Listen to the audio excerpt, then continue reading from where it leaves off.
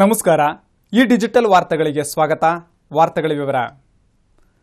KPCC ಅಧ್ಯಕ್ಷ doctor G Parameshwar Tumakuru ಜಿಲ್ಲೆಯ ಕೊರಟಗೆರೆಯಲ್ಲಿ ಬಯಲು ನಾಟಕ ಶುರು ಮಾಡಿದ್ದಾರೆ ಎಂದು ಬಿಜೆಪಿ ಮುಖಂಡ ವೈಎಚ್ ಹುಚ್ಚಯ್ಯ ಟೀಕಿಸಿದ್ದಾರೆ. ಸಂಸದ ಎಸ್ಪಿ ಮುದ್ದಹನ್ಮೇಗೌಡರ ನಿರ್ದೇಶನದಲ್ಲಿ ಕೆಪಿಸಿಸಿ ಅಧ್ಯಕ್ಷ ಡಾಕ್ಟರ್ ಜಿ ಪರಮೇಶ್ವರ್ ಅವರು ಕೊರಟಗೆರೆ ಕ್ಷೇತ್ರದಲ್ಲಿ ಜನರ ಮುಂದೆ ಬಯಲು ನಾಟಕ ಆಡಲು ಆರಂಭಿಸಿದ್ದಾರೆ ಎಂದು ಮಾಜಿ ಜಿಲ್ಲಾ ಪಂಚಾಯಿತಿ ಅಧ್ಯಕ್ಷ ಹಾಗೂ ಬಿಜೆಪಿ ಮುಖಂಡ ವೈಎಚ್ ಹುಚ್ಚಯ್ಯ ವ್ಯಂಗ್ಯವಾಡಿದ್ದಾರೆ. ಕೊರಟಗೆರೆಯಲ್ಲಿ ಸುದ್ದಿಗೋಷ್ಠಿಯಲ್ಲಿ ಮಾತನಾಡಿ ಪರಮೇಶ್ವರ್ ರವರ ಬಯಲು ನಾಟಕಕ್ಕೆ ಜನ ಮರುಳಾಗುವುದಿಲ್ಲ. ದಲಿತರ ಮನೆಗೆ ಹೋಗಿ ಗ್ರಾಮ ವಾಸ್ತವ್ಯ ಮಾಡುವ ಪರಮೇಶ್ವರ್ ರವರ ಡುಂಗಿ ವರ್ತನೆಯನ್ನು ಟೀಕಿಸಿದರು. ಪರಮೇಶ್ವರ್ ಅವರು ದಲಿತರ ಮನೆಗೆ ವಾಸ್ತವ್ಯ ಮಾಡುವ ಸಂದರ್ಭದಲ್ಲಿ ಹೊಸ ಹಾಸಿಗೆ, ತಟ್ಟೆ, ಲೋಟ ತಂದಿದ್ದು ನೋಡಿದರೆ ನಿಜಕ್ಕೂ ನಾಚಿಕೆ ಆಗಬೇಕೆಂದು ಛೇಡಿಸಿದರು. ಕೊರಟಗೆರೆ ಕ್ಷೇತ್ರದ ಶಾಸಕರನ್ನೇ ನಿರ್ಲಕ್ಷಿಸಿ ವಿದ್ಯಾರ್ಥಿಗಳಿಗೆ ಲ್ಯಾಪ್ಟಾಪ್ ವಿತರಿಸಿದ ಬಗ್ಗೆ ಪ್ರಶ್ನಿಸಿದ ಹುಚ್ಚೆಯರವರು ಪ್ರಜಾಪ್ರಭುತ್ವಕ್ಕೆ ಅವಮಾನ ಮಾಡಿದ್ದಾರೆ ಎಂದರು. ಕ್ಷೇತ್ರದ ಶಾಸಕರು ಪರಮೇಶ್ವರ್ ಅವರನ್ನು ಏಕೆ ಪ್ರಶ್ನಿಸುತ್ತಿಲ್ಲ? ಅವರಿಗೆ ಹೆದರಿಕೆಯೇ ಎಂದು ಪ್ರಶ್ನಿಸಿದರು. ಕೊರಟಗೆರೆಯಲ್ಲಿ ಇದೇ ತಿಂಗಳ ಹನ್ನೊಂದರಂದು ಸಂಜೆ ಬಿಜೆಪಿಯ ಪರಿವರ್ತನಾ ಯಾತ್ರೆ ನಡೆಯಲಿದೆ ಎಂದು ಮಾಜಿ ಸಂಸದ ಜಿಎಸ್ ಬಸವರಾಜು ಹೇಳಿದರು. ಈ ಯಾತ್ರೆಗೆ ಬಿಜೆಪಿ ರಾಜ್ಯಾಧ್ಯಕ್ಷ ಬಿಎಸ್ ಯಡಿಯೂರಪ್ಪ, ಕೇಂದ್ರ ಸಚಿವ ಅನಂತಕುಮಾರ್ ಸೇರಿದಂತೆ ರಾಷ್ಟ್ರ ಹಾಗೂ ರಾಜ್ಯ ಮಟ್ಟದ ನಾಯಕರು ಆಗಮಿಸಲಿದ್ದಾರೆ ಎಂದರು. ಎಸ್ಟಿ ಮೋರ್ಚಾ ಜಿಲ್ಲಾಧ್ಯಕ್ಷ ರಾಮಂಜನಪ್ಪ, ಲಕ್ಷ್ಮೀಶ್, ಪವನ್ ಕುಮಾರ್, ತಿಮ್ಮಜ್ಜ, ಪ್ರಕಾಶ್, ವಿಜಯಕುಮಾರ್, ಶಿವರುದ್ರಯ್ಯ ಮತ್ತಿತರರು ಉಪಸ್ಥಿತರಿದ್ದರು. ದೇವನಹಳ್ಳಿಯಲ್ಲಿ ಜಿಲ್ಲಾ ಮಟ್ಟದ ಅರ್ಚಕರ, ಆಗಮಿಕರ, ಪುರೋಹಿತರ ಸಮಾವೇಶ ಏರ್ಪಾಡಾಗಿತ್ತು. ದೇವನಹಳ್ಳಿಯ ನಗರೇಶ್ವರ ಸ್ವಾಮಿ ಕಲ್ಯಾಣ ಮಂಟಪದಲ್ಲಿ ಜಿಲ್ಲಾ ಮಟ್ಟದ ಅರ್ಚಕರ, ಆಗಮಿಕರ ಮತ್- ಮತ್ತು ಪುರೋಹಿತರ ಮೊದಲನೇ ವರ್ಷದ ಬೃಹತ್ ಸಮಾವೇಶವನ್ನು ಹಮ್ಮಿಕೊಳ್ಳಲಾಗಿತ್ತು. ಸಂಸದ ವೀರಪ್ಪ ಮೊಯ್ಲಿ ಕಾರ್ಯಕ್ರಮ ಉದ್ಘಾಟಿಸಿ ಜಾತ್ಯಾತೀತ ಮತ್ತು ಸಮಾನತೆಯ ತತ್ವವನ್ನ ಜಗತ್ತಿಗೆ ಸಾರಿದವರು ಭಕ್ತಿ ಭಂಡಾರಿ ಬಸವಣ್ಣನವರು ಜಾತಿಯ ಬಗ್ಗೆ ಅನೇಕ ಗೊಂದಲಗಳು ಇದ್ದು ನಮ್ಮನ್ನ ಕಾಡುತ್ತಿದ್ದು ಇದನ್ನ ನಿವಾರಣೆ ಮಾಡಬೇಕೆಂದು ಆ ಕಾಲದಲ್ಲೇ ಬಸವಣ್ಣನವರು ಅಂತರ್ಜಾತಿ ವಿವಾಹ ಸಮಾನತೆಯನ್ನ ತಂದಿದ್ದು ನಾವು ಜಾತಿ ಭೇದವನ್ನ ತೊರೆದು ಸಮಾನತೆಯನ್ನ ಅನುಸರಿಸಬೇಕು ಎಂದು ಸಂಸದ ವೀರಪ್ಪ ಮೊಯ್ಲಿ ತಿಳಿಸಿದರು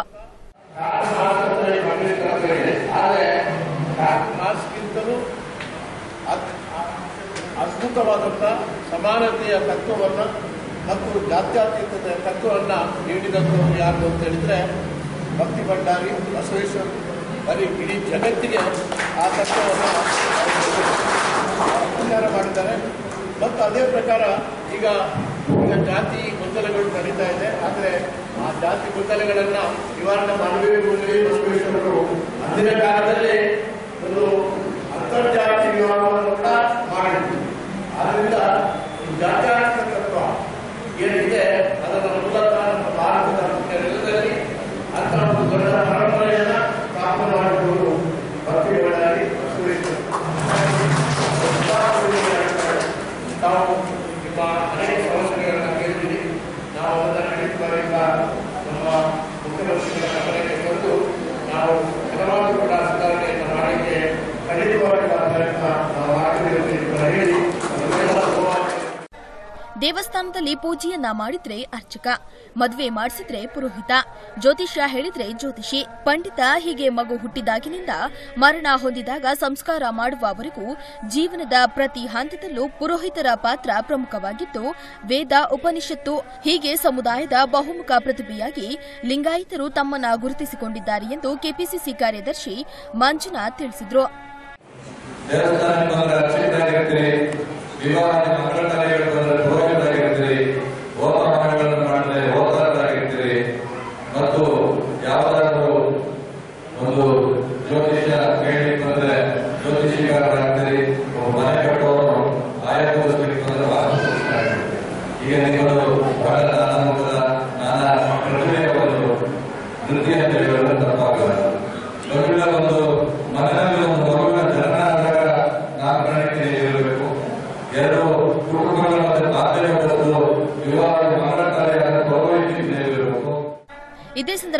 ಒಕ್ಕೂಟದ ಪ್ರಧಾನ ಕಾರ್ಯದರ್ಶಿ ವೀರಪ್ಪ ಮೊಯ್ಲಿಯವರ ನೇತೃತ್ವದಲ್ಲಿ ಅರ್ಚಕರು, ಆಗಮಿಕರು ಮತ್ತು ಪುರೋಹಿತರು ವೇದ ಆಗಮನ ಪಾಠಶಾಲೆಗೆ ನಿವೇಶನ ಮಂಜೂರಾತಿ ಹಾಗೂ ಅನುದಾನ ನೀಡುವುದು ಮತ್ತು ಮುಜರಾಯಿ ಅರ್ಚಕ ಪುರೋಹಿತ ಖಾತೆಗೆ ನೇರ ಹಣ ಸಂದಾಯ ಮತ್ತು ವ್ಯವಸ್ಥಾಪಕ ಸಮಿತಿ ನಿಷೇಧಿಸುವಂತೆ ವೀರಪ್ಪ ಮೊಯ್ಲಿಗೆ ಮನವಿ ಪತ್ರ ಸಲ್ಲಿಸಿದರು. ಈ ಕಾರ್ಯಕ್ರಮದಲ್ಲಿ ಶಾಸಕ ಪಿಳ್ಳಮುನಿ ಶಾಮಪ್ಪ ಜಿಲ್ಲಾ ಪಂಚಾಯಿತಿ ಉಪಾಧ್ಯಕ್ಷೆ ಅನಂತಕುಮಾರಿ ಜಿಲ್ಲಾ ಕಾಂಗ್ರೆಸ್ ಸಮಿತಿ ಅಧ್ಯಕ್ಷ ಮುನಿಶಾಮಣ್ಣ ಮಾಜಿ ಶಾಸಕ ವೆಂಕಟಸ್ವಾಮಿ ಜಗನ್ನಾಥ್ ವೈಸಿ ಸತೀಶ್ ಕುಮಾರ್ ಮತ್ತಿತರೆ ಗಣ್ಯರು ಉಪಸ್ಥಿತರಿದ್ದರು. ತುಮಕೂರಿನಲ್ಲಿ ಸರ್ಕಾರಿ ನೌಕರರ ಕ್ರೀಡಾಕೂಟ ನಡೆಯಿತು. ನೌಕರರು ಕ್ರೀಡಾಸಕ್ತಿ ಬೆಳೆಸಿಕೊಳ್ಳಲು ಸಂಘದ ಜಿಲ್ಲಾಧ್ಯಕ್ಷ ಲೋಕೇಶ್ ಸಲಹೆ ಮಾಡಿದರು. ಒತ್ತಡ ನಿವಾರಣೆಗೆ ಕ್ರೀಡೆ ಸಹಕಾರಿಯೇ? ಜೊತೆಗೆ ಉತ್ತಮ ಆರೋಗ್ಯ ಹೊಂದಬಹುದು ಎಂದು ಸರ್ಕಾರಿ ನೌಕರರ ಸಂಘದ ಜಿಲ್ಲಾಧ್ಯಕ್ಷ ಕೆಎಚ್ ಲೋಕೇಶ್ ತಿಳಿಸಿದರು. ತುಮಕೂರಿನ ಮಹಾತ್ಮ ಗಾಂಧಿ ಕ್ರೀಡಾಂಗಣದಲ್ಲಿ ಆಯೋಜಿಸಿದ್ದ ಸರ್ಕಾರಿ ನೌಕರರ ಕ್ರೀಡಾಕೂಟ ಉದ್ಘಾಟಿಸಿ ಮಾತನಾಡಿ, ಸರ್ಕಾರಿ ನೌಕರರು ಸದಾ ಒತ್ತಡದಲ್ಲಿ ಕಾರ್ಯನಿರ್ವಹಿಸುತ್ತಿದ್ದು, ಒತ್ತಡ ನಿವಾರಣೆಗೆ ಕ್ರೀಡಾಕೂಟ ಸಹಕಾರಿಯಾಗಲಿದೆ ಎಂದರು. ಕ್ರೀಡೆ ಒತ್ತಡ ನಿವಾರಿಸುವ ಜೊತೆಗೆ ಉತ್ತಮ ಆರೋಗ್ಯ ಹೊಂದಲು ನೆರವಾಗಲಿದೆ. ನೌಕರರು ಕ್ರೀಡೆ ಹಾಗೂ ಸಾಂಸ್ಕೃತಿಕ ಕಾರ್ಯಕ್ರಮಗಳಲ್ಲಿ ಭಾಗವಹಿಸಿ ಸದಾ ಚಟುವಟಿಕೆಯಿಂದ ಇರುವಂತೆ ಸಲಹೆ ನೀಡಿದರು. ಜಿಲ್ಲೆಯಲ್ಲಿ ಇಪ್ಪತ್ತು ಸಾವಿರಕ್ಕೂ ಹೆಚ್ಚು ಸರ್ಕಾರಿ ನೌಕರರಿದ್ದಾರೆ. ಆದರೆ ಕ್ರೀಡಾಕೂಟದಲ್ಲಿ ನಾನ್ನೂರರಿಂದ ಐನೂರು ಮಂದಿಯಷ್ಟೇ ಭಾಗವಹಿಸಿದ್ದಾರೆ. ನೌಕರರು ಕ್ರೀಡಾಸಕ್ತಿ ಬೆಳೆಸಿಕೊಂಡು ಮುಂದಿನ ದಿನಗಳಲ್ಲಿ ಹೆಚ್ಚಿನ ಸಂಖ್ಯೆಯಲ್ಲಿ ಭಾಗವಹಿಸುವಂತೆ ಮನವಿ ಮಾಡಿದರು. ಕಾರ್ಯನಿರ್ವಹಿಸುತ್ತಿರುವ ನಾವು ಏನ್ ನೌಕರಿದ್ದೇವೆ, ತುಂಬಾ ಒತ್ತಡದಿಂದ ಒಂದು ಕೆಲಸ ನಿರ್ವಹಿಸುವಂತ ಪರಿಸ್ಥಿತಿ ಬಂದಿದೆ. ಈಗ ಈ ಒಂದು ಒತ್ತಡದಿಂದ ನಾವು ವಿಮುಕ್ತರಾಗಬೇಕಾದ್ರೆ ಇಂತಹ ಕ್ರೀಡಾಕೂಟಗಳು, ಸಾಂಸ್ಕೃತಿಕ ಕಾರ್ಯಕ್ರಮಗಳು ಅತ್ಯವಶ್ಯಕ. ಹೀಗಾಗಿ ಸರ್ಕಾರ ಈ ಒಂದು ಕಾರ್ಯಕ್ರಮಗಳನ್ನ ಸರ್ಕಾರದ ವತಿಯಿಂದನೇ ಪ್ರತಿ ವರ್ಷ ಪ್ರಾಯೋಜನೆಯನ್ನ ಮಾಡ್ತಾ ಬಂದಿದೆ. ಆ ಒಂದು ಪ್ರಯುಕ್ತವಾಗಿ ಇವತ್ತು ನಾವು ಜಿಲ್ಲಾ ಮಟ್ಟದ ಈ ಒಂದು ಕ್ರೀಡಾಕೂಟವನ್ನ ಆಯೋಜಿಸಿದ್ದೇವೆ.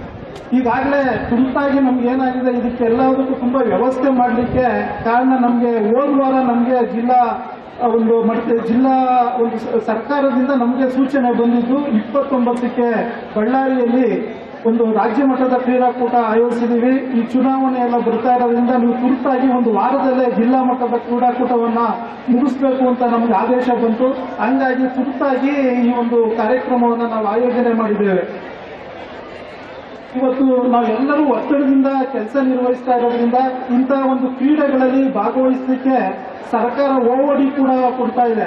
ಆದ್ರೆ ನಮ್ಮ ಜಿಲ್ಲೆಯಲ್ಲಿ ಸುಮಾರು ನಾವು ಇಪ್ಪತ್ತು ಸಾವಿರ ಜನ ಸರ್ಕಾರಿ ನೌಕರಿದ್ದೇವೆ ಅದರಲ್ಲಿ ಭಾಗವಹಿಸೋದು ಮಾತ್ರ ನಾವು ಕೇವಲ ಒಂದು ಎರಡರಿಂದ ಮೂರು ಪರ್ಸೆಂಟ್. ಮುನ್ ನಾನ್ನೂರಿಂದ ಐನೂರು ಜನ ಮಾತ್ರ ಭಾಗವಹಿಸ್ತಾ ಇದ್ದೇವೆ. ದಯವಿಟ್ಟು ಇನ್ನು ಮುಂದೆ ಕೂಡ ಹೆಚ್ಚೆಚ್ಚಿಗೆ ಈ ಒಂದು ಕ್ರೀಡಾಕೂಟದಲ್ಲಿ ಭಾಗವಹಿಸಬೇಕು ಅಂತ ನಾನು ಎಲ್ಲರಲ್ಲೂ ಕೂಡ ಮನವಿ ಮಾಡ್ತಾ ಇದ್ದೇನೆ. ಸಂಘದ ಗೌರವ ಅಧ್ಯಕ್ಷ ವೀರಕ್ಯಾತರಾಯ ಕುಮಾರ್ ನಾಗರಾಜು ಮಹಲಿಂಗೇಶ್ವರ್ ಜಿಲ್ಲಾ ಕ್ರೀಡಾಧಿಕಾರಿ ವಿಜಯಲಕ್ಷ್ಮಿ ಇತರರು ಉಪಸ್ಥಿತರಿದ್ದರು. ಮಾತೃಪೂರ್ಣ ಯೋಜನೆಯ ಬಗ್ಗೆ ಜನರಿಗೆ ಅರಿವು ಮೂಡಿಸಿಲ್ಲ ಎಂದು ಶಾಸಕ ಕೆ. ಷಡಕ್ಷರಿ ಅಧಿಕಾರಿಗಳ ವಿರುದ್ಧ ಅಸಮಾಧಾನ ವ್ಯಕ್ತಪಡಿಸಿದರು. ಮಾತೃಪೂರ್ಣ ಯೋಜನೆ ಬಗ್ಗೆ ಜನರಿಗೆ ಮಾಹಿತಿ ಕೊರತೆ ಇದ್ದು ಪೂರ್ಣ ಪ್ರಮಾಣದಲ್ಲಿ ಗುರಿ ಸಾಧಿಸಲು ಸಾಧ್ಯವಾಗಿಲ್ಲ. ಅಧಿಕಾರಿಗಳು ಯೋಜನೆ ಯಶಸ್ವಿಗೆ ಶ್ರಮಿಸಬೇಕು ಎಂದು ಶಾಸಕ ಷಡಾಕ್ಷರಿ ಹೇಳಿದರು. ತಿಪಟೂರಿನಲ್ಲಿ ತಾಲೂಕು ಪಂಚಾಯಿತಿಯ ತ್ರೈಮಾಸಿಕ ಸಭೆಯಲ್ಲಿ ಮಾತನಾಡಿದ ಶಾಸಕರು, ಬಾಣಂತಿಯರು ಗರ್ಭಿಣಿಯರಿಗೆ ಯೋಜನೆಯ ಉದ್ದೇಶ ಸಿಗಬಹುದಾದ ಸೌಲಭ್ಯಗಳ ಬಗ್ಗೆ ಸರಿಯಾಗಿ ಮನವರಿಕೆ ಮಾಡಿಕೊಡಬೇಕು ಎಂದು ಅಧಿಕಾರಿಗಳಿಗೆ ಸೂಚಿಸಿದರು. ಶಿಶುಮರಣ, ಬಾಣಂತಿ, ಗರ್ಭಿಣಿಯರ ಮರಣ ತಡೆಯಬೇಕು. ಅವರನ್ನ ಅಪೌಷ್ಟಿಕತೆಯಿಂದ ಮುಕ್ತಗೊಳಿಸಬೇಕು. ತಾಲೂಕಿನಲ್ಲಿ ಮಾತೃಪೂರ್ಣ ಯೋಜನೆ ಡಿಸೆಂಬರ್ ವೇಳೆಗೆ ಶೇಕಡಾ ಐವತ್ತೆರಡರಷ್ಟು ಗುರಿ ಹೊಂದಿದ್ದು ಗುರಿ ಮುಟ್ಟಲು ಸಾಧ್ಯವಾಗಿಲ್ಲ ಎಂದರು.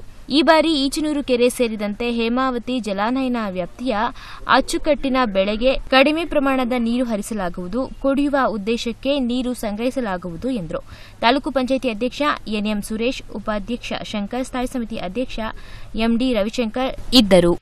ವಂಚಿತ ಸಮುದಾಯದಲ್ಲಿ ಶೈಕ್ಷಣಿಕ ಸಮಾನತೆ ತರಲು ಸರ್ಕಾರ ಯೋಜನೆ ಜಾರಿಗೆ ತಂದಿದೆ ಎಂದು ಕೆಪಿಸಿಸಿ ಅಧ್ಯಕ್ಷ ಡಾ ಜಿ ಪರಮೇಶ್ವರ್ ಹೇಳಿದರು. ಶಿಕ್ಷಣ ವಂಚಿತ ಸಮುದಾಯದಲ್ಲಿ ಶೈಕ್ಷಣಿಕ ಸಮಾನತೆ ತರಲು ಸರ್ಕಾರ ಹಲವಾರು ಯೋಜನೆ ಜಾರಿಗೆ ತಂದಿದೆ ಎಂದು ಕೆಪಿಸಿಸಿ ಅಧ್ಯಕ್ಷ ಡಾ ಜಿ ಪರಮೇಶ್ವರ್ ತಿಳಿಸಿದರು. ಕೊರಟಗೆರೆಯ ಸರ್ಕಾರಿ ಪ್ರಥಮ ದರ್ಜೆ ಕಾಲೇಜಿನಲ್ಲಿ ಎಸ್ಸಿ, ಎಸ್ಟಿ ವಿದ್ಯಾರ್ಥಿಗಳಿಗೆ ಉಚಿತ ಲ್ಯಾಪ್ಟಾಪ್ ವಿತರಿಸಿ ಪರಮೇಶ್ವರ್ ಮಾತನಾಡಿದರು.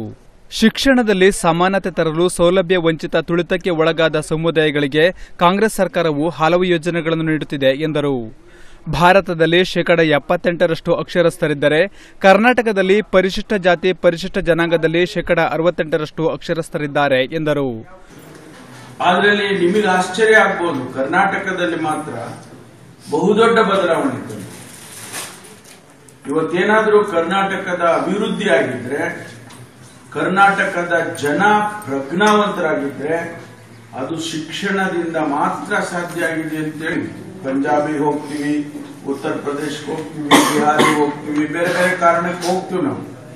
ಅಲ್ಲಿ ನೋಡಿದ್ರೆ ಶಿಕ್ಷಣ ಬಹಳ ದೂರ ಇದೆ ಇನ್ನು ನೋಡಿ ಆ ಹಳ್ಳಿಗಳು ನೋಡಿದ್ರೆ ನಮಗೆ, ಏನಪ್ಪ ಎಲ್ಲಿ ಬಂದಿದೀವಿ ಮನೆ ಇದು ಅಂತ ಅನ್ಸುತ್ತೆ. ನಮ್ಮ ಒಂದು ಸಾಮಾನ್ಯ ಹಳ್ಳಿ, ಆ ಆ ಹಳ್ಳಿಗೆ ಹೋಲ್ಸಕ್ಕಾಗದೇ ಇಲ್ಲ. ಒಂದು ಇಪ್ಪತ್ತೈದು ವರ್ಷ ಇದ್ದಿದ್ದಾರೆ ಯುವರಾಜ ಕಾಲೇಜು, ಮಹಾರಾಜಾಸ್ ಕಾಲೇಜು ಎಲ್ಲ ಅವರೇ. ಅವ್ರು ಯಾಕೆ ಮಾಡಿದ್ರು ಮಹಾರಾಜರು ಮಹಾರಾಜ ಸುಮ್ಮನೆ ಪ್ಯಾಲೇಸ್ ಒಳಗೆ ಎರಮನೆಗೆ ಇಟ್ಕೊಂಡು ಆರಾಮಾಗಿರ್ಬೋದಾಗಿತ್ತಲ್ಲ. ತನ್ನ ಜನರಿಗೆ ಪ್ರಜ್ಞಾವಂತರನ್ನಾಗಿ ಮಾಡಬೇಕು. ಶಿಕ್ಷಣ ಕೊಡಬೇಕು ಹಾಗೆ ಅಂತೇಳಿ ಅವರು. ಉತ್ತರ ಭಾರತದ ಬಿಹಾರ, ಉತ್ತರ ಪ್ರದೇಶಗಳಿಗೆ ಹೋಲಿಸಿದರೆ ಕರ್ನಾಟಕದಲ್ಲಿ ಅಕ್ಷರಸ್ಥರು ಹೆಚ್ಚಿದ್ದಾರೆ ಎಂದರು. ಪ್ರಾಂಶುಪಾಲ ಡಾಕ್ಟರ್ ಬಾಲಪ್ಪ, ಉಪನ್ಯಾಸಕ ಓ. ನಾಗರಾಜು, ರಾಮಚಂದ್ರಯ್ಯ, ಕೆಪಿಸಿಸಿ ಕಾರ್ಯದರ್ಶಿ ನಾಗಲಕ್ಷ್ಮಿ ಸೇರಿದಂತೆ ಮತ್ತಿತರರು ಪಾಲ್ಗೊಂಡಿದ್ದರು. ವಿಕಲಚೇತನರಿಗೆ ಸೌಲಭ್ಯ ನೀಡಲು ಪ್ರತ್ಯೇಕ ನಿಗಮ ಮಂಡಳಿ ಸ್ಥಾಪಿಸುವಂತೆ ವಿಕಲಚೇತನ ನೌಕರರ ಸಂಘದ ಅಧ್ಯಕ್ಷ ಒತ್ತಾಯಿಸಿದ್ದಾರೆ. ವಿಕಲಚೇತನರಿಗೆ ಪ್ರತ್ಯೇಕ ನಿಗಮ ಮಂಡಳಿ ಸ್ಥಾಪಿಸಬೇಕೆಂದು ವಿಕಲಚೇತನ ನೌಕರರ ಸಂಘದ ರಾಜ್ಯಾಧ್ಯಕ್ಷ ಬೀರಪ್ಪ ಅಂಡಗಿ ಚಳವಾಡಗಿ ಸರ್ಕಾರವನ್ನ ಒತ್ತಾಯಿಸಿದರು. ತುಮಕೂರಿನಲ್ಲಿ ಸುದ್ದಿಗೋಷ್ಠಿಯಲ್ಲಿ ಮಾತನಾಡಿದ ಅವರು ವಿಕಲಚೇತನರ ಸಮಸ್ಯೆಗಳಿಗೆ ಪರಿಹಾರ ಹಾಗೂ ಅವರಿಗೆ ನೀಡಬೇಕಾದ ಸೌಲಭ್ಯಗಳ ಬಗ್ಗೆ ಹೆಚ್ಚು ಗಮನ ಹರಿಸಲು ಇಲಾಖೆಯಿಂದ ಸಾಧ್ಯವಾಗುವುದಿಲ್ಲ ಎಂದರು. ಆದ್ದರಿಂದ ವಿಕಲಚೇತನರಿಗಾಗಿ ಪ್ರತ್ಯೇಕ ನಿಗಮ ಮಂಡಳಿ ಸ್ಥಾಪನೆ ಮಾಡಿ ನೆರವಾಗಬೇಕು ಎಂದರು. ವಿಕಲಚೇತನರ ಬೇಡಿಕೆ ಈಡೇರಿಸಲು ಆಗ್ರಹಿಸಿ ಸರ್ಕಾರದ ಮೇಲೆ ಒತ್ತಡ ಹೇರಲು ಇದೇ ತಿಂಗಳ ಹತ್ತೊಂಬತ್ತರಂದು ರಾಜ್ಯ ಮಟ್ಟದ ವಿಕಲಚೇತನ ನೌಕರರ ಸಮ್ಮೇಳನವನ್ನು ವಿಧಾನಸಭಾದ ಬ್ಯಾಂಕ್ವೆಟ್ ಹಾಲ್ನಲ್ಲಿ ಹಮ್ಮಿಕೊಳ್ಳಲಾಗಿದೆ ಎಂದು ಅಧ್ಯಕ್ಷರು ಹೇಳಿದರು. ಈ ಸಮಾವೇಶಕ್ಕೆ ಇಪ್ಪತ್ತೈದು ಸಾವಿರ ವಿಕಲಚೇತನ ನೌಕರರು ಭಾಗವಹಿಸಲಿದ್ದಾರೆ ಎಂದರು. ಶೇಕಡಾ ಹದಿನೈದರಷ್ಟು ಸಂಚಾರಿ ಭೌತ್ಯ ಜೊತೆಗೆ ಯಂತ್ರಚಲಿತ ತ್ರಿಚಕ್ರ ವಾಹನಗಳನ್ನು ಖರೀದಿಸಿದರೆ ಶೇಕಡಾ ಐವತ್ತರಷ್ಟು ಹಣವನ್ನು ರಿಯಾಯಿತಿ ನೀಡಬೇಕೆಂದು ಕೋರಿದರು. ಮುಖ್ಯವಾಗಿ ವಿಕಲಚೇತನರಿಗೆ ಒಂದು ಪ್ರತ್ಯೇಕವಾದ ನಿಗಮ ಮಂಡಳಿ ಸ್ಥಾಪನೆ ಮಾಡಬೇಕು ಅಂತ. ವಿಕಲಚೇತನರು ಇಲಾಖೆ ಮಹಿಳಾ ಮತ್ತು ಮಕ್ಕಳ ಅಭಿವೃದ್ಧಿ ಇಲಾಖೆ, ಹಿರಿಯ ನಾಗರಿಕರು ಮತ್ತು ಮಹಿಳೆಯ ಮಕ್ಕಳು ಹಿರಿಯ ನಾಗರಿಕ ಇಲಾಖೆ ಬಹುದೊಡ್ಡ ಇಲಾಖೆ ಆಗಿದೆ ಇಂಥ ಬಹುದೊಡ್ಡ ಇಲಾಖೆಯಿಂದ ವಿಕಲಚೇತನರ ಸರ್ವಾಂಗೀಣ ಅಭಿವೃದ್ಧಿಗೆ ಸಾಧ್ಯ ಇಲ್ಲ. ಆ ನಿಟ್ಟಿನಲ್ಲಿ ಸರ್ಕಾರ ಏನಂದ್ರೆ ಅದನ್ನು ಬೇರ್ಪಡಿಸಿ ವಿಕಲಚೇತನರಿಗೆ ಇಲಾಖೆಯಿಂದ ಬೇರ್ಪಡಿಸಿ ಒಂದು ನಿಗಮ ಮಂಡಳಿ ಮಾಡಬೇಕು. ಎರಡನೇದು ಮುಖ್ಯವಾಗಿ ಈಗ ಬಡ್ತಿ ಮೀಸಲಾತಿ ವಿಷಯ. ಬಡ್ತಿ ವಿಷಯವನ್ನು ಸರ್ಕಾರ ಏನು ಮಾಡ್ತಾ ಇದೆ? ಎಸ್ ಎಸ್ ಟಿಗೆ ತೆಗೆದುಕೊಳ್ತಾ ಬಡ್ತಿ ವಿಷಯದ ಗಂಭೀರತೆಯನ್ನು ವಿಕಲಚೇತನ ತೆಗೆದುಕೊಳ್ಳ ತೆಗೆದುಕೊಳ್ತಾ ಇಲ್ಲ. ಸಂಘದ ಉಪಾಧ್ಯಕ್ಷ ಜಯರಾಮ್ ಅಶ್ವತ್ಥಪ್ಪ ಮತ್ತಿತರರು ಪಾಲ್ಗೊಂಡಿದ್ರು ಪಿಂಚಣಿ ಆದೇಶ ಅನುಷ್ಠಾನಕ್ಕೆ ಒತ್ತಾಯಿಸಿ ತುಮಕೂರಿನಲ್ಲಿ ಹಾಲು ಒಕ್ಕೂಟದ ನಿವೃತ್ತ ನೌಕರರು ಪ್ರತಿಭಟನೆ ನಡೆಸಿದರು. ಸುಪ್ರೀಂ ಕೋರ್ಟ್ ನೀಡಿದ್ದ ಪಿಂಚಣಿ ಆದೇಶವನ್ನು ಅನುಷ್ಠಾನಗೊಳಿಸುವಂತೆ ತುಮಕೂರು ಹಾಲು ಒಕ್ಕೂಟದ ನಿವೃತ್ತ ನೌಕರರು ಕಾರ್ಮಿಕರ ಭವಿಷ್ಯ ನಿಧಿ ಉಪ ಪ್ರಾದೇಶಿಕ ಆಯುಕ್ತರಿಗೆ ಮನವಿ ಸಲ್ಲಿಸಿದರು. ತುಮಕೂರು ಹಾಲು ಒಕ್ಕೂಟ ನಿವೃತ್ತ ನೌಕರರ ಸಂಘದಿಂದ ರಾಷ್ಟ್ರದ ಉಚ್ಚ ನ್ಯಾಯಾಲಯ ಆದೇಶಿಸಿರುವ ಪಿಂಚಣಿ ವೇತನ ವರದಿಯನ್ನು ಅನುಷ್ಠಾನಗೊಳಿಸುವಂತೆ ಆಯುಕ್ತರಿಗೆ ಮನವಿ ಮಾಡಲಾಯಿತು. ರಾಷ್ಟ್ರದ ಉಚ್ಚ ನ್ಯಾಯಾಲಯದವರು ಆದೇಶ ಕೊಟ್ಟಿದ್ದಾರೆ. ಪೆನ್ಷನ್ ರಿವಿಷನ್ ಪಿಂಚಣಿ ರಿವಿಷನ್ ಪರಿಷ್ಕೃತ ಮಾಡಿದ್ದಾರೆ. ಅದನ್ನು ಅನುಷ್ಠಾನಕ್ಕೆ ತರೋದ್ರ ಬಗ್ಗೆ ಸಾಕಷ್ಟಾಗಲೇ ವ್ಯವಹಾರನ ಪಿ ಎಫ್ ಆಫೀಸ್ ಜೊತೆ ಮಾಡಿದ್ವಿ. ಇಲ್ಲಿವರೆಗೆ ಅದು ಕಾರ್ಯಕೃತ ಆಗದೇ ಇರೋ ಹಿನ್ನೆಲೆಯಲ್ಲಿ ನಾವೆಲ್ಲರೂ ಕಮಿಷನರ್ ಅವ್ರನ್ನ ಇವತ್ತು ಆಯುಕ್ತರನ್ನ ಭೇಟಿ ಮಾಡಿ ನಮ್ಮ ಒಂದು ಮನವಿನ ಅವರಿಗೆ ಸಲ್ಲಿಸಿದ್ದೀವಿ. ನಮ್ಮಿಂದ ಏನಾಗಬೇಕಾಗಿತ್ತು? ರಿವೈಸ್ಡ್ ಪೆನ್ಷನ್ದು ಏನು ಸ್ಟೇಟ್ಮೆಂಟ್ಗಳಿದೆ ತ್ರೀ ಎ ಅಂತ ಇದೆ. ಅದನ್ನೆಲ್ಲ ಅವರಿಗೆ ಮಾಡಿ ಸಬ್ಮಿಟ್ ಮಾಡಿದ್ದೀವಿ. ಇವತ್ತು ಅವ್ರ ಜೊತೆ ಚರ್ಚೆ ಮಾಡಿದಾಗ ಅವರು ಹದಿನೈದು ದಿವಸದೊಳಗೆ ಇದ್ರ ಬಗ್ಗೆ ನಿರ್ದಿಷ್ಟವಾಗಿ ನಾವು ರಿವೈಸ್ ಪೆನ್ಷನ್ ತಗೊಳ್ಳೋದಕ್ಕೆ ಅರ್ಹತೆಗೆ ಎಷ್ಟು ಮೊತ್ತ ವಾಪಸ್ ಕಟ್ಟಬೇಕು ಅಂತ ಒಂದು ನಿರ್ದಿಷ್ಟ ಮೊತ್ತನ ತಿಳಿಸೋ ಕ್ಯಾಲ್ಕುಲೇಷನ್ ಮಾಡಿಬಿಟ್ಟು ಕೊಡ್ತೀವಿ. ಅದಂತ ಕೂಡಲೇ ರಿವೈಸ್ ಪೆನ್ಷನ್ನ ಸುಪ್ರೀಂ ಕೋರ್ಟ್ ಆದೇಶದ ಮೇಲೆ ಏನಿದೆ, ಅದನ್ನು ಫಿಕ್ಸ್ ಮಾಡಿಕೊಡ್ತೀವಿ ಅಂತ ಒಂದು ಅಶ್ಯೂರೆನ್ಸ್ ಕೊಟ್ಟಿದ್ದಾರೆ. ಒಂದು ಭರವಸೆನ ಅವ್ರು ಕೊಟ್ಟಿದ್ದಾರೆ. ಇದಕ್ಕೆ ಅವರಿಗೆ ನಾವು ಎಲ್ಲರೂ ತುಮಕೂರು ಹಾಲು ಒಕ್ಕೂಟದ ಪರವಾಗಿ ಅಭಾರಿಯಾಗಿದ್ದೇವೆ. ನಿವೃತ್ತ ನೌಕರರು ಸಲ್ಲಿಸಿರುವ ಮನವಿಯನ್ನು ಪರಿಶೀಲಿಸಿ ಹದಿನೈದು ದಿನಗಳೊಳಗೆ ಸಮಸ್ಯೆ ಬಗೆಹರಿಸುವುದಾಗಿ ಆಯುಕ್ತರು ಭರವಸೆ ನೀಡಿದರು. The,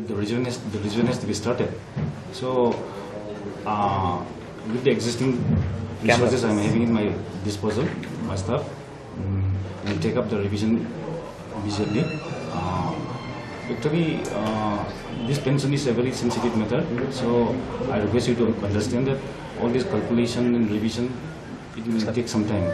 Uh, so my APFC, who is the, the main person who will do this work, uh, he has given a assurance that uh, within 15 days um, we'll give you a clear picture about how much is the revision amount is to, to be worked out and what, what amount to be refunded by your establishment. So in this connection, I also I give my commitment to you that uh, I will try sincerely to do all the work at our level, whatever uh, whatever uh, revised pension that your pensioners are going to get, we'll work it out and we'll keep in touch accordingly. We'll inform you as soon as possible. All this, uh, what, is, what is the pension amount to be worked out. So with these few words, I think I'll, uh, ನಮ್ಮಿಂದ ಹಣ ಪಡೆದ PF ರವರು ನಿವೃತ್ತಿ ಹಣವನ್ನು ಹೆಚ್ಚಳ ಮಾಡುವಂತೆ ನಿವೃತ್ತ ಉಪವ್ಯವಸ್ಥಾಪಕ ನಾರಾಯಣ್ ಕೋರಿದ್ದಾರೆ. ಭಾರತ ಸರ್ಕಾರದ ಉಚ್ಚ ನ್ಯಾಯಾಲಯ ಏನು ಮಾಡ್ತು? ಈ ಥರ ಅನ್ಯಾಯ ಆಗೋದು ಬೇಡ. ಇವರಿಗೆ, ಇವರಿಂದ ಏನು ದುಡ್ಡು ಪಡಿಬೇಕು ಪಡೆದುಕೊಂಡು ಹೆಚ್ಚಿನ ಒಂದು ನಿವೃತ್ತಿ ವೇತನ, ಪಿಂಚಣಿಯನ್ನು ಕೊಡಿ ಅಂತ ಆಯಿತು. ಬಹುಶಃ ಅವರ ಒಂದು ಮಾರ, ಅವ್ರದ ನಿರ್ದೇಶನದಂತೆ ನಾನು ಪಡಿತಿರೋ ಎರಡು ಸಾವಿರದ ಏಳ್ನೂರ ಮೂವತ್ತೇಳು ಬದಲಾಗಿ ಒಂದು ಹದಿನೆಂಟು, ಹತ್ತೊಂಬತ್ತು, ಇಪ್ಪತ್ತು ಸಾವಿರದವರೆಗೂ ನನಗೆ ನೀವು ನಿವೃತ್ತಿ ವೇತನ ಬರುತ್ತೆ. ಅದಕ್ಕೆ ಉಚ್ಚ ನ್ಯಾಯಾಲಯ ಕೂಡ ಮಾರ್ಗದರ್ಶನ ಕೊಟ್ಟಿದೆ. ದೆಹಲಿಯ ಪಿ ಎಫ್ ಆಫೀಸ್ ಕೂಡ ಈ ಕಚೇರಿಗೆ ಮಾರ್ಗದರ್ಶನ ಕೊಟ್ಟಿದೆ.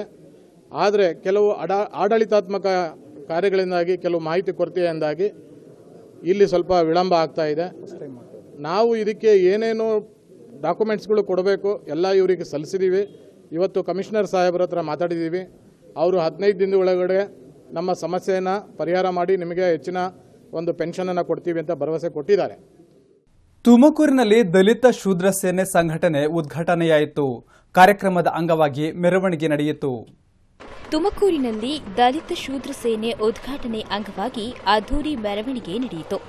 ಟೌನ್ ಹಾಲ್ ವೃತ್ತದಿಂದ ಗುಬ್ಬಿವೀರಣ್ಣ ರಂಗಮಂದಿರದವರೆಗೆ ಪಾಲಿನಹಳ್ಳಿ ಮಠದ ಪೀಠಾಧ್ಯಕ್ಷ ಡಾಕ್ಟರ್ ಸಿದ್ದರಾಜು ಮಹಾಸ್ವಾಮಿಗಳ ನೇತೃತ್ವದಲ್ಲಿ ಮೆರವಣಿಗೆ ನಡೆಯಿತು. ಜಿಲ್ಲಾ ಗೆಳೆಯರ ಬಳಗದ ಅಧ್ಯಕ್ಷ ಗೋವಿಂದರಾಜು ಅವರು ಮೆರವಣಿಗೆಗೆ ಚಾಲನೆ ನೀಡಿದರು. ಈ ಮೆರವಣಿಗೆಯಲ್ಲಿ ಮಾಜಿ ಶಾಸಕ ಗಂಗಹನುಮಯ್ಯ, ಸೇನೆಯ ರಾಜ್ಯ ಗೌರವಾಧ್ಯಕ್ಷ ಡಿ ರಮೇಶ್, ಉಪಾಧ್ಯಕ್ಷ ಪ್ರಕಾಶ್, ಸಂಘಟನಾ ಸಂಚಾಲಕ ಸಿದ್ದರಾಜು ಸೇರಿದಂತೆ ಹಲವಾರು ಪ್ರಮುಖರು ಪಾಲ್ಗೊಂಡಿದ್ದರು. ಆನಂತರ ದಲಿತ ಶೂದ್ರ ಸೇನೆಗೆ ಚಾಲನೆ ನೀಡಲಾಯಿತು. ತುಮಕೂರಿನ ಬಸವೇಶ್ವರ ಶಾಲೆಯ ವಾರ್ಷಿಕೋತ್ಸವ ಏರ್ಪಾಡಾಗಿತ್ತು. ತುಮಕೂರಿನ ಬಸವೇಶ್ವರ ಇಂಗ್ಲಿಷ್ ಶಾಲೆಯ ವಾರ್ಷಿಕೋತ್ಸವ ಸಮಾರಂಭ ನೆರವೇರಿತು. ಸಿದ್ದಗಂಗಾ ಮಠದ ಸಿದ್ದಲಿಂಗ ಸ್ವಾಮೀಜಿ ಸಮಾರಂಭದ ಸಾನ್ನಿಧ್ಯ ವಹಿಸಿದ್ರು. ಸಿದ್ದಗಂಗಾ ಶಿಕ್ಷಣ ಸಂಸ್ಥೆ ಕಾರ್ಯದರ್ಶಿ ಟಿಕೆ ನಂಜುಂಡಪ್ಪ ಸಿದ್ದಗಂಗಾ ಮಠದ ಆಡಳಿತಾಧಿಕಾರಿ ಎಸ್. ವಿಶ್ವನಾಥಯ್ಯ, ಕ್ಷೇತ್ರ ಶಿಕ್ಷಣಾಧಿಕಾರಿ ಹನುಮನಾಯಕ್ ಜಿಲ್ಲಾ ಕನ್ನಡ ಸಾಹಿತ್ಯ ಪರಿಷತ್ ಅಧ್ಯಕ್ಷೆ ಬಾಹ ರಾಮಕುಮಾರಿ, ಶಾಲೆಯ ಮುಖ್ಯ ಶಿಕ್ಷಕಿ ಎಸ್. ಬಿ. ಮೀನಾಕ್ಷಿ ಮೊದಲಾದವರು ಭಾಗವಹಿಸಿದ್ರು. ವಿವಿಧ ಸ್ಪರ್ಧೆಗಳಲ್ಲಿ ವಿಜೇತರಾದ ವಿದ್ಯಾರ್ಥಿಗಳಿಗೆ ಈ ವೇಳೆ ಬಹುಮಾನ ವಿತರಿಸಲಾಯಿತು. ಪಾವಗಡದ ಜೆಡಿಎಸ್ ಸಮಾವೇಶದ ಯಶಸ್ಸು ಕಾಂಗ್ರೆಸ್ನವರಿಗೆ ನಡುಕ ಉಂಟು ಮಾಡಿದೆ ಎಂದು ತಾಲೂಕು ಜೆಡಿಎಸ್ ಅಧ್ಯಕ್ಷ ಬಲರಾಮರೆಡ್ಡಿ ಹೇಳಿದ್ದಾರೆ. ಪಾವಗಡದಲ್ಲಿ ಸೋಮವಾರ ನಡೆದ ಜೆಡಿಎಸ್ ಸಮಾವೇಶ ನಿರೀಕ್ಷೆ ಮೀರಿ ಯಶಸ್ವಿಯಾಯಿತು. ಸಮಾವೇಶದಿಂದ ಕಾಂಗ್ರೆಸ್ನವರಿಗೆ ನಡುಕ ಉಂಟಾಗಿದೆ ಎಂದು ತಾಲೂಕು ಜೆಡಿಎಸ್ ಅಧ್ಯಕ್ಷ ಬಲರಾಮರೆಡ್ಡಿ ಹೇಳಿದ್ದಾರೆ. ಸುದ್ದಿಗೋಷ್ಠಿಯಲ್ಲಿ ಮಾತನಾಡಿದ ಅವರು ಪಾವಗಡ ತಾಲೂಕಿನಲ್ಲಿ ಬಿಜೆಪಿಗೆ ನೆಲೆಯಿಲ್ಲ, ಕಾಂಗ್ರೆಸ್ಗೆ ಬೆಲೆಯಿಲ್ಲದಂತಾಗಿದೆ, ಎಂದರು.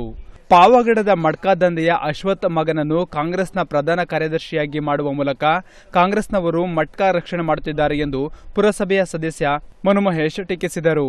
ಪುರಸಭೆ ಸದಸ್ಯರಾದ ಜಿಎ ವೆಂಕಟೇಶ್, ವಸಂತ, ಜಯಂತ್ ಮೊದಲಾದವರು ಭಾಗವಹಿಸಿದ್ದರು. ಇಲ್ಲಿಗೆ ಈ ಡಿಜಿಟಲ್ ವಾರ್ತಾ ಪ್ರಸಾರ ಮುಕ್ತಾಯವಾಯಿತು. ಹೆಚ್ಚಿನ ಮಾಹಿತಿಗೆ ತಪ್ಪದೆ ವೀಕ್ಷಿಸಿ ಈ ಡಿಜಿಟಲ್.